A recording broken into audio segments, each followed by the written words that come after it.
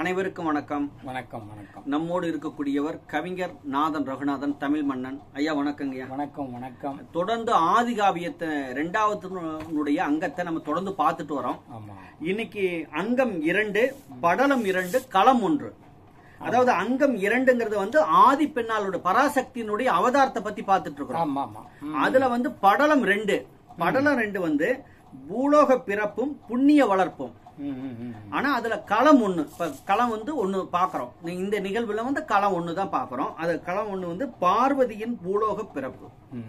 பார்வதியினுடைய பூலோக பிறப்பை பத்தி நீங்க சொல்ல போறீங்க. இப்ப வந்து மேல அவங்க சிவனுக்கும் சக்திக்கும் அவங்களுக்குள்ள ஒரு கருத்து வேறுபாடு முரண்பாடு வருது. அப்ப பக்தனுக்காக அந்த பார்வதி அம்மாள் பராசக்தி வந்து வேமானுக்கு வந்து மகளா கிடைக்கிறாங்கன்னு நான் நினைக்கிறேன். நீங்க என்ன சொல்ல போறீங்கன்னு தெரியல. சொல்லுங்க. அதான். அது என்னன்னா இந்த இப்ப இன்னைய இன்றைய களம் வந்து என்னன்னா. அதாவது பூலோக பிறப்பும் புண்ணிய வளர்ப்பும் சொல்லியிருக்கோம். அதாவது. இந்த ஆதிகாவியத்துல வந்து அந்த ஆதி பராசக்தி இருக்குதா? அந்த பார்வதி தேவி வந்து பூலோகத்துல வந்து மகளா பிறக்கிறா இல்லையா? அதனுடைய காரணங்கள் நிறைய இருந்தாலும் ம். இதிலிருந்து நாம ஒரு தொடர்ந்து போறது வந்து இந்த கதைக்கு. ஒரு ஏதுவா இருக்கும். என்னன்னா எப்படி பிறப்ப அந்த பிறப்பை பத்தி எப்படி அந்த அவ அவதாரம் அவங்களுடைய அவதாரம் எப்படி இருக்குதுங்கிறது மக்கள் கொஞ்சம் தெளிவா இல்ல இல்ல அது அது சொல்லலாம். இப்ப இது வந்து. சிவபெருமான் இருக்காங்க இல்லையா ஆமா அந்த சிவபெருமான் வந்து. சக்திக்கு சாபமிட்டுட்டான் ஆமா என்ன சாபமிட்டா. நீ பூலோகத்துல போய் ஒரு மானிட பெண்ணா பிறந்து. வளர்ந்து வா. அப்ப வந்து உன்னை வந்து நான் அழைச்சு வர்றேன்.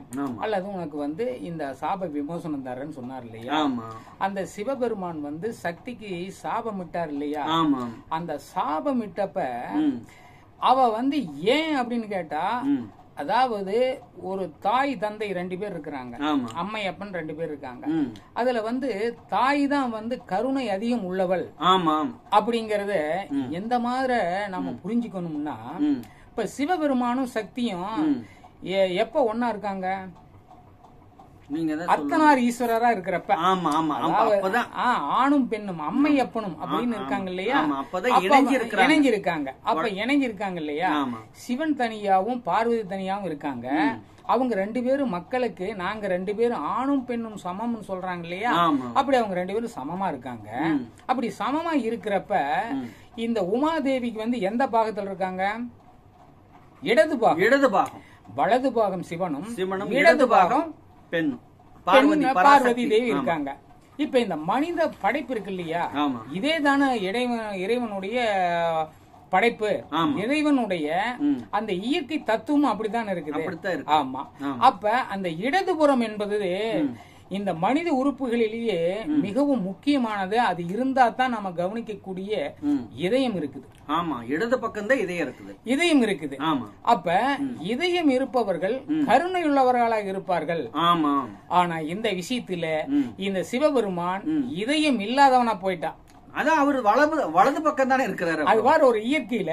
அப்ப இயற்கையில இடதுபுறம் என்பவன் ஏன் வந்து அப்படி ஆனான்னா அவனுக்கு வந்து இதயம் இதயம் வலதுபுறம் இருக்கிறவனுக்கு இல்ல இடதுபுறம் இருக்கிறவனுக்கு தான் இருக்குதுங்கிறப்ப அன்பு அதிகமா இருக்குது இடது பக்கம் ஆமா. இருக்கிறதுனால அதுதான். வந்து ஒரு தாய்மை.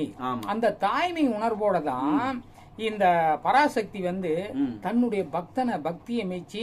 அந்த பக்தனை மெச்சி கூட அல்ல. அவன் வந்து அதாவது தன்னுடைய வாழ்வை இழந்து சுடலையிலே தன்னை மாய்த்து கொள்வதற்கு மயானத்துல தத்தளிச்சிட்டு இருக்கான். அப்படி தத்தளிச்சிட்டு இருக்கிறவனை காப்பாற்றும் பொருட்டு அது இடை நின்னு அந்த இந்த காரியத்தை செய்யறாங்க என்ன காரியத்தை செய்யறாங்க தன்னுடைய தண்டையை கழட்டி அவனுக்கு வீசுறாங்க. அதாவது தந்தையாகிய சிவபெருமான் என்ன பண்ணணும்னா அதாவது இந்த கருணை அடிப்படையில தான் அவர் செய்யணும்னு அவர் புரிஞ்சிருக்கணும்ல. ம், ம். அவர் ஒரு மிகப்பெரிய கடவுள் இல்லையா? இறைவன் இல்லையா? அவருக்கு அது தெரியல. இது எதனாலன்னு கேட்டா. நீங்க இந்த ஒரு உண்மையை தெரிஞ்சுக்கங்க. இந்த பூலோகத்துல பாத்தீங்கன்னா. உங்களுக்கு ஒரு உண்மை தெரியும். என்ன உண்மைன்னா அதாவது இந்த வேத வித்யா வேத இந்த விக்கணங்கள் எல்லாம் இருக்கு இல்லையா அதை அடிப்படையா கொண்டு வாழ்ற நம்மளுடைய வாழ்க்கையில. அதாவது. ஆண் வர்க்கம் தான் ஆண் குலம் தான் உயர்ந்தவங்க. பெண்கள் வந்து தாழ்ந்தவங்க. அப்படிங்கறது ஒரு நடைமுறையா வழக்கமா பழக்கமா.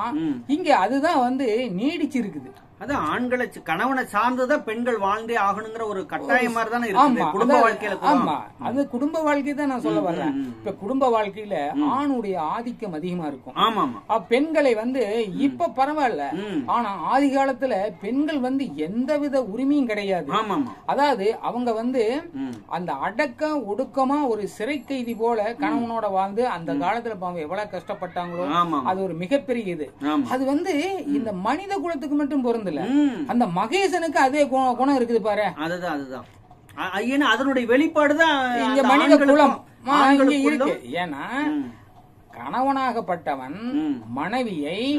பாதுகாக்கணும் மனைவியை அரவணைக்கணும். மனைவியை வந்து ஒத்து போகணும் மனைவிக்கு வந்து நம்ம உதவி செய்யணும். அவளை வந்து கண் போல பொன் போல காக்க வேண்டும்ங்கிறது இல்லாம அடக்கி ஆளணுங்கிற அந்த அதிகாரம் அவனுக்குள்ள வந்துருது ஆமா அது யாருக்கு வருது சாதாரண மனிதனுக்கு இல்ல. அந்த இந்த உலகத்தையே இந்த பரம மண்டலத்தையே இந்த பிரம்மாண்டமான. இந்த உலகத்தை படைச்ச சிவனுக்கே அந்த எண்ணம் வந்துருச்சு. அப்ப சாதாரண மனிதர்கள் என்ன பண்ணுவாங்க? அப்ப அந்த சிவன் வந்து அவ வந்து இரக்கம் இல்லாதவனாகி இந்த அம்மா கருணையோட வாழ்ந்துருச்சு. அப்ப கருணையோட இருக்கிறப்ப அவருக்கு என்ன ஆயிடுச்சு? அதுல வந்து மனிதனுக்கு ஒரு இது வந்து தெய்வத்திற்கு ஒரு வந்துருச்சு. இவ பெரியவளா ஆகிறதா. அப்படின்னு சொல்றது. இவர் அடிக்கடி கோவப்படுவாரு. யாரு? ஆமா. அவர் வந்து கோவம் வந்துரும். கோவம் வந்து அவர் நெற்றி கண்ணை திறப்பாரு. இல்லைன்னா வேற ஏதோ ஒரு விளையாட்டு பண்ணுவார். இது கேட்டா இதெல்லாம் திருவிளையாடல் அப்படின்னு சொல்லுவாரு. திருவிளையாடல் என்றால் இறைவன் எல்லாருக்கும் ஒரு நன்மை பயக்கக்கூடியதா செய்யணும். பின்னாடிதான் அதை பத்திய நீதி விளக்கறதுக்காக அவரை சொல்லுவாரு. இப்படிதான். ஆரம்- ஆரம்ப நிலையில சமத்துவமே வராது. ஆமா. அதாவது உருவாகும். போட்டி பிரச்சனைகள் போராட்டம் இதுதான் நடந்துட்டு இருக்கும். எல்லாம் கடந்து அதுக்கப்புறம் சமாதானம் ஆகுவார் ஆமா. அதுதான் கேட்டா நம்ம வந்து கேட்டா இல்ல நம்ம பெரியவங்க சொல்லியிருக்காங்க அதெல்லாம் திருவிளையாடல். இறைவனுடைய விளையாட்டுன்னு. மனைவி மீது கோவித்து. அதாவது அவங்க வந்து அங்க இருக்கிற காலத்துல வந்து அவங்க யாருன்னா. அந்த தேவலோகத்துல இருக்கிறவங்க எல்லாம் வந்து. ஒரு அனாதை போல ஆயிருவாங்க. ஆமா ஒரு தாய் இல்லைன்னா ஆமா ஏன்னா இவர் தந்தை இருப்பாரு ஒரு இரண்டு குழந்தைகளை சொன்னீங்க முருகன் விநாயகர் அவங்களுக்கே இப்ப ஒரு தாய் தாய் இல்லாத ஒரு வீடு மாதிரி தானே ஆயிடும் ஆமா அவங்களுக்கு மட்டும் இல்ல. தேவலோகத்துல இருக்கிற அனைவருக்குமே. அனைவருக்கும் ஒரு தாய் இல்ல. ஆமா ஒரு ஒரு ஒரு ஒரு ஒரு பெண் ஒரு வீட்டுல இருக்கிற மாதிரி இருக்காதுல்ல? ம், பெண் இருக்கிறதோட தாய் இருக்கிறது ஒரு உயர்வு, கருணை சிறப்பு, உள்ளத்தோடு. ஆனா அதையவே கூட அந்த சிவபெருமான் உணராம. அவரை போக சொல்லிட்டாரு போக சொல்லிட்டாரா. அவருடைய. சாபம் பலித்ததா ம். அப்ப சாபம் பலித்தப்ப அந்த அன்னையே தனக்கு ஏதாவது புத்திர பாக்கியம். அதாவது மகவு ஒரு குழந்தை தரணும்னு பக்தரா வாழ்ந்தார் இல்லையா ஆமா. அவ மேல வந்து தன்னுடைய. முழு உயிர் பக்தி செலுத்தினார் இல்லையா. அந்த வேமான் தோட்டி. அந்த வேமான் தோட்டியே. அவனுடைய கால நேரம் அதாவது இந்த கால நேரம் வந்து இவனுக்கு மகளாக பிறக்க வேண்டுங்கிற காலம் ம். அந்த மயானத்துல. மயானத்துல வந்து சிறு பிள்ளையா அங்க வந்து கிடந்து அவ எடுத்தார் இல்லையா அதாவது அந்த பராசக்தி வந்து மயானத்துலதான் அவருக்கு கிடைக்கிறாங்க ஆமா அவ மயானத்துல கிடைக்கிறாங்க இல்லையா. அப்படி மயானத்துல கிடைச்ச. அந்த குழந்தை. பார்வதி. அந்த பார்வதி இவரை துரத்தி விட்டு அவரு கம்முன்னு இருக்கலாம்ல ஆமா ஆனா நம்ம குடும்பத்துல பாருங்க. கணவன் வந்து கோவமா மனைவியே துரத்தி விட்டுருவாங்க ஆமா அவங்க அம்மா வீட்டுக்கு போடுவாங்க ஆமா ஆனா திரும்ப சமாதானப்படுத்துறதுக்கு இவங்க போவாங்க அடிக்கடி. போவாங்க ஆமா. கெஞ்சும் அடுத்த அடுத்த அந்த நிலையிலேயே கூட. அடுத்த ஒரு வண்டி பிடிச்சு அவர் அங்க உடனே போயிருவாரு ஆமா போய் எப்படி ஆமா சமாதானப்படுத்திடுவாரு அந்த மாதிரிதான் இது இந்த மனித வாழ்க்கை என்பது இறைவனோட ஒத்து போகுது இறைவன் இருக்கிறான்ங்கறதுக்கெல்லாம் ம். ஒரு உதாரணம் ஒரு அடையாளங்கள் தான் இந்த செய்திகள் என்னன்னு சொன்னா இப்ப பார்வதி வந்து வேமானுக்கு மகளா வந்து பிறந்துட்டா. மயானத்துல வந்து பிறந்துட்டா. சரி அப்படி வேமானுக்கு மக- மகளா வந்து பிறந்தா இல்லையா. அவரை அப்படியே விடாம. அவளை வந்து. அதாவது இந்த பறவையை துரத்தும் பருந்தை போல. அதாவது பரமசிவனானவர் வந்து பார்வதியை தேடி அவரும் பூலோகத்துல வந்து பிறக்க வந்துட்டார். வேற வழி இல்ல. ஆமா. எத்தனை நாளைக்கு இருக்க முடியும் மனைவி இல்லாம? அந்தனா வந்து அந்தன வீட்டு குடி குடியில வந்து. இவர் ஒரு அந்தன சிறுவனா வந்தாரு. அது வந்து. அதாவது குளம் தாழ்ந்த ஒரு குடும்பத்துல. அந்த பஞ்சமர் புலையர் அப்படிங்குவாங்க இல்லையா. அவங்க இல்லத்துல வந்து. பார்வதி தேவி மகளா வந்து அவதரிச்சாங்க. இப்படிதான் பார்வதி தேவி ம். சிவனுடைய. கோபத்தால. அவ வந்து பூலோகத்துல. ஒரு கற்புள்ள ஒரு பத்தினி பெண்ணா. இது இந்த கற்பு பத்தினி என்பதை விட கூட அவர் வந்து ஒரு சமூக நீதியை ஒரு தெய்வீக தன்மையோடு. ஆமா ஒரு சமுதாய பிரச்சனைக்கு தீர்வு காண்பதற்காக அவர் மகளாக வந்தார். அப்படி மகளாக வந்தவங்க என்ன தெரியுமா. அவங்க என்ன காரியம் செஞ்சாங்கங்கிறத நாம அடுத்த நிகழ்வில் பார்ப்போமா? நாளை சந்திப்போம். நன்றி நேர்களே நன்றி, நன்றி வணக்கம். நன்றி.